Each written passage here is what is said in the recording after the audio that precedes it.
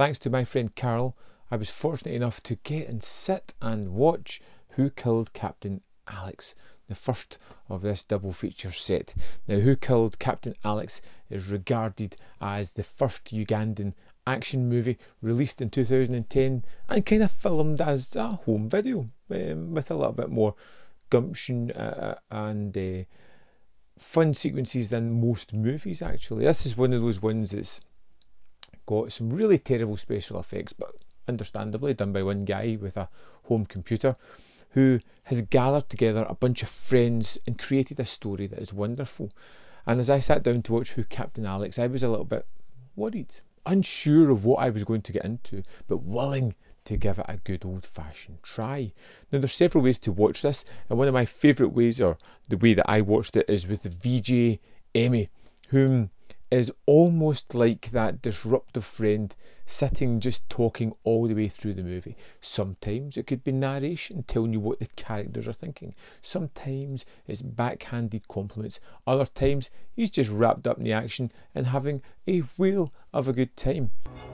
You are watching Who Killed the Captain Alex and the first VJ in English ever from Wakaliwood this is how we enjoy movies in Uganda. So you have this story of um, uh, the aftermath of a kind of gang warfare, and they bring in Captain Alex to try and stop these uh, drug runners and criminals from continuing their exploits. Unfortunately, somebody kills Captain Alex, and it becomes a mystery movie, an action movie, as people are battling against each other. Um, all the while, we get to enjoy the wonderful commentary of VJ Emmie, who just makes this movie so much fun. Now, when I stuck this on, I didn't realise there was two versions of the movie the straight up just movie or the one with the VJ. I've watched the one with the VJ. That is the one I will always watch. That made it so much fun. Jesus! Commando! There is a wealth of production value in here mostly. Um, we get plenty of characters carrying weapons. We get various locations that look pretty terrific um, on film. They get some good action set pieces, some fight scenes that are really terrific. We get characters whom are really enjoyable to spend time with.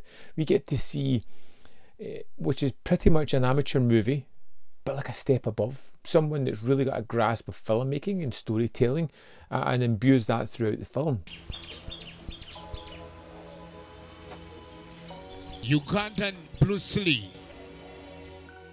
We call him Bruce But like I said, as much as this is enjoyable, a quick watch at just 64 minutes, as much as it has good action sequences and all that, it's just made all the better by VJ Emmie. He is a master of his own destiny.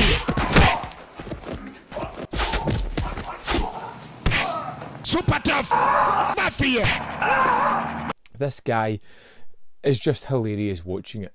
Um, the commentary is so much fun.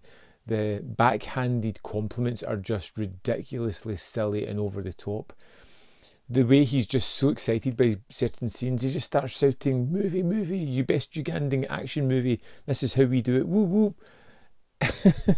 just leads to an infectious entertainment and energy into the film that just makes this thing so enjoyable to sit and watch.